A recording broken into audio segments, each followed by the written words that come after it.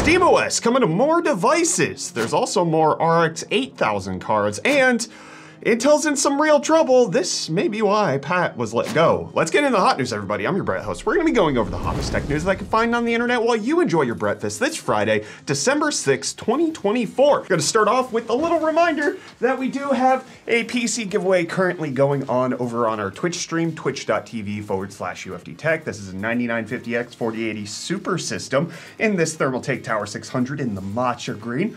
Looks absolutely gorgeous. If you join us over there, you can find out how to win the giveaway. It's going to be drawn on December 19th, so you have a couple weeks to still enter before that happens, but we'd love to have you over there. And I would love to have more SteamOS in my life, and Valve actually has some new branding guidelines for the expansion of this amazing operating system. The OS that powers the Steam Deck is looking to go to other devices, so there's new branding guidelines for powered by Steam OS. This was found in a guidance document about being Steam compatible, Steam OS, all of that kind of stuff. And you can see that it's well thought out and detailed about all of the branding guidelines that they would do, powered by Steam OS, all of that various stuff that we want to see potentially coming to newer devices. We've obviously discussed in the past about Steam OS potentially being enabled on the ROG Ally. It hasn't made it just yet, even though there has been support baked into the operating system, but I want to see this more and more different different handhelds, potentially even a desktop version would be fantastic. Converting all of the beauty of PC gaming into the simplicity of console gaming is something that I definitely would want to rock on my home system. But it was also found in a Steam Deck kernel change that potentially Valve is working on some sort of NVIDIA Shield TV-like device, potentially a set-top box slash gaming console that allows you to just get some basic gaming done on your television. It's powered by an AMD Lilac processor which is not going to be the fastest thing in the world, but could potentially keep up with what's currently out there. This is intriguing to see. Uh, we've also obviously seen the Steam controller too. Maybe that's going to go hand in hand with this new Valve device that's going to be coming out, or this might just be in development and they're not planning on releasing it. Either way, very excited for this. Super excited for the future of SteamOS and Valve and everything that they're doing in order to make Linux gaming more mainstream. I want to see more and more of that happen. And, you know, I travel traveled the world with my Steam Deck, brought it to Taiwan, played a lot of Balatro on it, and uh, when we go back to Computex this coming year, you bet I'm gonna use today's video sponsor. You know what's the worst part about traveling? Struggling to take calls from friends and family who are back home. And that's where today's sponsor, Saily, comes in. Saily is an eSIM service app whose goal is to make staying in touch abroad easier than ever. As a tech creator who lived in South Africa, moved back to America, kept team members in South Africa, and travels for conventions like Computex, an eSIM is a great option for when I travel. Next time I plan to visit South Africa, hopefully sooner rather than later, or like recently, bring some team members over to the States, it's as simple as downloading the app to your mobile device, choosing your region, and selecting your plan. With multiple plans in over 160 countries and 8 regions, Saily covers a huge portion of the globe. Once you have have your region selected, simply install the eSIM, which your phone takes you through step by step. Then your eSIM will activate instantly upon entering the country or region you selected. Saily is also super convenient for trips with multiple locations, like when we stop in South Africa on the way to Taiwan for Computex. I can install Saily's single eSIM and get coverage for both countries I'll be visiting. Saily continues to make it easier for anyone to stay connected while they travel, being compatible for all eSIM capable iOS and Android devices. Better yet, yet, if you find out your device can't support eSIMs, Saily offers a full refund. I totally see Saily being my eSIM of choice for my next trip back to South Africa. Again, hopefully sometime in 2025. Being able to download the app to my phone once and have virtually unlimited eSIM options is going to make travel a breeze. Change the way you travel with Saily right now. You get an exclusive 15% discount on Saily eSIM data plans. Download the Saily app and use code UFDTech at checkout. Check them out here via the QR code on the screen or via the link in the description below. Huge thanks to Saily for sponsoring. Well, in case you use Saily to get some data abroad, you're not going to be able to download your NVIDIA drivers with it via GeForce Experience anymore because NVIDIA is cutting the cord on that. They're moving all of the driver downloads over to their brand new fresh, all-in-one NVIDIA app. GeForce Experience has gotten its latest graphics driver, the last one ever, the 566.36. It'll be the last time you can update your graphics card driver through the GeForce Experience, and instead you have to migrate on over to the NVIDIA app, which is a bit of a bummer that they're doing that so soon. It's kind of frustrating that it's only been out for less than a month and they're kind of forcing everybody on over to it, but it doesn't require a login like GeForce Experience does, so there is at least some okayness here. You just have to download it. It's not necessarily gonna require you to sign up for anything. I'm not a huge fan of it, but at the same time, it's not too detrimental. And I'm a huge fan of uh, what AMD's got cooking with their upcoming GPUs. We got some more details coming out about the RX 8000 series. We're finding out that there potentially could be an 8800 and an 8600 GPU uh, coming out to the next generation. This was being found in the ROCm library or Radeon Open Compute library, which indicates that there are desktop chips for the 8800 and 8600 family of cards. This is notable because we discussed in a recent episode of Hot News the 8700 XT, which according to reports might have been the highest end AMD GPU we would get on the RX 8000 series. If it goes up even higher, that could potentially mean more performance, that they're uh, looking to beat out the 7900 XTX that's currently out on the market. Whether or not that's true or if this is just something that's been in testing and that they're gonna put it in uh, ROCm library and it's not actually gonna manifest in sale remains to be seen, but it's intriguing that they're developing that. And let's see what deals Reese developed you. Yo, welcome back to UFD Deals, bringing the hottest tech deals out on the internet. Happy Friday, everyone. Hope you guys had a good week. And I got a couple of good deals for you today, starting off with this EpoMaker Shadow X wireless hot swappable gasket mount mechanical keyboard, which is going for only $42.99, making it $53 or 50% off and a great start for a project board. But then next up, we have the Zalman i3 Neo TG ATX case, plus four of their 120mm Infinity Mirror ARGB fans, going for only $57.98, making it $27.01 off. And then lastly, we have this ASRock B650M AM5 M-ATX motherboard going for only $99.99, making it $60 off. And hey, with that, the deals are done. You can find these and more linked in the video description down below. But until next time, I'm gonna hand you off back to Brett for the rest of your hot news. Cheers. Well, Reese, it looks like we're getting a good deal on Intel's GPUs. Obviously, we discussed Battlemage that got unveiled earlier this week. The B580, B570 look to be at least compelling at the price point that they're coming in at. However, Tom Petersen, also affectionately known as Tap, went on the Full Nerd podcast to discuss that this isn't the end of the line for Intel's GPU department. Battlemage is not going to be the last set of discrete GPUs that we see from them, and in fact, XE3 and X XE4 are definitely in the picture, specifically saying that XE3, the hardware, is pretty much baked. So essentially it's just moving over to software where they're gonna have to work on the drivers and optimization and making sure that this thing works with all the varied systems out there. And now the hardware team is moving on over to XE4. XE3 is codenamed Celestial. We'll be talking more about that in the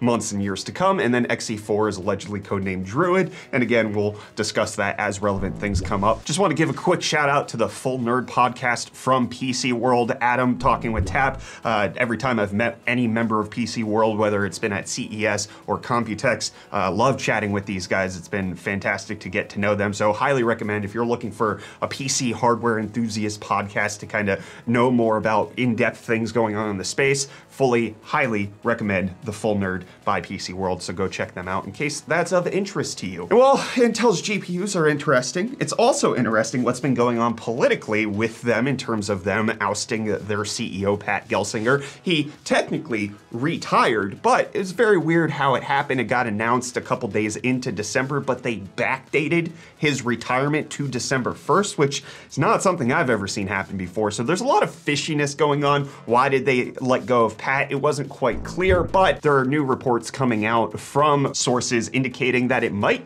be due to their 18A node not being up to snuff. The Korean publication Chosun indicating that the 18A node has abysmal yields coming in at 10%, making it unfit for mass production and worse than even Samsung's worst yields. This is not the first we're hearing about this. Back in September, we got details from Reuters indicating that Broadcom got a sample of the 18A node and it was essentially unusable. And with this newest report, it's being indicated that Broadcom now knows even more about how this is not working out, so they're finding other people to manufacture this next generation of chips that they're trying to put on Intel's 18A node. So having a yield rate of less than 10% is not good. It's very problematic for what's going on over at Intel, and the idea could potentially be that, especially with Pat going very heavily into Intel's foundry services, their IFS product roadmap trying to make it so that they're gonna be a company that makes chips for other companies, very much like TSMC. Their 18A node, which was supposed to be the kind of linchpin node that they were depending on to make this idea work,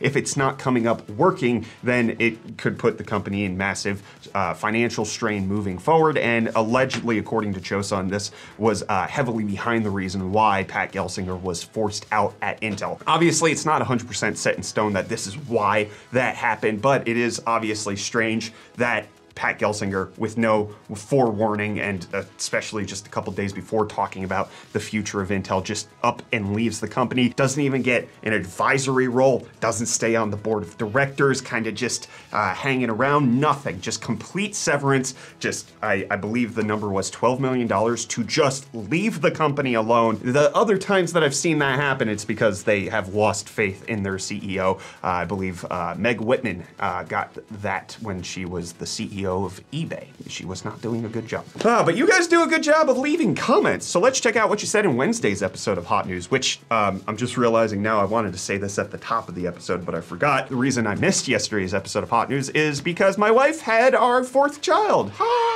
It's it's great. Mom and baby are doing incredibly well. Everything's going smoothly at home. I'm just obviously exhausted. So yesterday, I just I could not bring myself to leave my house, uh, film hot news, get all of that done. Today, everything's going a little bit better uh, in terms of my. Um, energy levels, so I'm here doing it. This is just how it's gonna be for the next little bit in terms of uh, content getting out there for this full length stuff. If I can, I will. And if I don't feel like I can, I won't. But I also have a procedure next week that is going to prevent me from having more children, hopefully, uh, and that will also take me out of commission for a little bit. So December's going to be a weird month for UFD Tech. That was a weird thing to announce here, but you're welcome. You know more about my personal life now, and I want to know more about what you're thinking. We got Jeff saying NVIDIA advertises 4060 as the best GPU for 1080p at ultra settings, while Intel advertises Battlemage as the best for 1440p at ultra settings. It's probably the extra VRAM.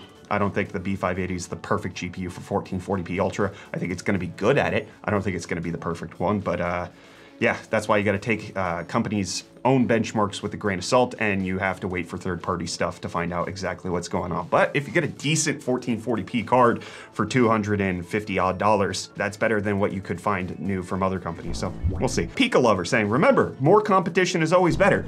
Not always, not always. It, it can be uh, detrimental and uh, distracting and harmful sometimes, but uh, not usually. Then Game Shot saying hype is building around Intel new cards. Hopefully they deliver. I also hope so. I've seen uh, several other uh, tech creators have gotten their hands on the B580. We don't have one um, on hand, nor do I think we are getting one anytime soon. I probably will have to buy one at retail and then we'll have to wait and see how long it takes for us to get our review out, just kind of like with the 9800X 3D. That took us, I think, uh, two, three weeks after it launched just because we don't get pre-release samples. So um, we're working on that, and uh, I, I, hope it's good as well. Then we got Andre saying, I love the phrase, we judge ourselves based on our motivations, but we judge others based on their actions. It feels honest, human, explains a lot of our expectation bias towards people, but Eggplant saying, Brett really pushing he's a human at the end there, kind of suspicious. Can we watch you complete a CAPTCHA? Uh, well, just to, I don't know if you know this, a lot of people do. CAPTCHAs are made to train uh, LLMs, large language models. It's actually used to make AIs better so the AIs can actually complete the CAPTCHAs. That's why they do it, to get more data. So me completing a CAPTCHA wouldn't necessarily prove anything to you. But to get back to Andre's statement of uh, what I said, we judge ourselves based on motivations and we judge others based on their actions. I think it's just something I really try to keep in mind I'm not better than anybody, even if, you know, I have the hypocritical stance that I think I am, right? You know, I, I ultimately experienced myself as a complete human individual, uh, a, a, a, full person with the, the multitudes that come with humanity, and I tend to not give that uh, benefit of the doubt towards other people. And uh, I think the world is better when I do, when I treat other people as if they also contain multitudes and they have various motivations, and you can uh, not just assume the worst worst of everybody from the get-go. I don't know how much that ethos really works when I'm talking about graphics cards and uh, CPUs, but it's definitely the mindset I really try to bring to, to most areas of how we conduct business as a company here and all of that. Then we got Gamerpunk saying, I was thinking, now that Intel are making graphics cards, I wonder if Intel can pull some magic when coupled with an Intel CPU. Um, probably not on desktop. One of the things that uh, AMD figured out a few years ago was on laptops, if you, because they're making the whole system CPU and GPU, they can kind of come up with a software that allows them to dynamically uh, divert power from one to the other, making it so that you get more GPU power when the CPU is not operating because they understand the totality of the system. But uh, not likely. Like AMD would have figured this out by now. Uh, if you could put an AMD card with an AMD CPU, it would be better. But also, uh, that invokes like the last time um, I think I discuss this with other people. It just like that's antitrust issues, right? Like you're you're giving yourself an unnecessary competitive advantage because the only way that I, am aware that you would be able to make it so that your GPU works better with your CPU is making other companies perform worse. Uh, so I don't know, we'll see. Then Sketchstorm asking, with those controllers in the background, do they have stick drift? Not that I'm aware of. So the controllers that are in the background, that Astrobot controller, it's new. I, I got it recently, doesn't have stick drift. We just thought it looked really good on the set, so we did that. I, I was using that at home. Uh, I replaced it with a different controller. The ones over here, that's an Amazon Luna controller. Never used it, bought it to do an Amazon Luna video like four years ago and just ended up not moving forward with it. So it's just it's just an unused controller. That Starfield controller, uh, we used it for one video. I believe it was the Lenovo Legion Super Ultra Wide monitor video. Um, we got it for that, and we didn't have another use for it. Besides, it looks very cool. And then that's my Stadia Founders Edition controller, which I haven't updated to be supported with Bluetooth. I don't. I'm not really uh, too interested in doing that. I mean, I could, uh, but it's it's just a set piece at this point. I didn't I didn't need another controller. It just it also looks good. So that's what's happening there. And then our Legion Go up there works totally fine. I just I prefer my Steam Deck OLED right now. So uh, that sits on the shelf right there. Ah, but then we got Wazgoo saying Fortnite balls. Thank you. Make of that what you will. Uh, judge me how you will by that. I will judge myself based on my motivations. You will judge me based on my actions. And I will see you back here next week for more hot news.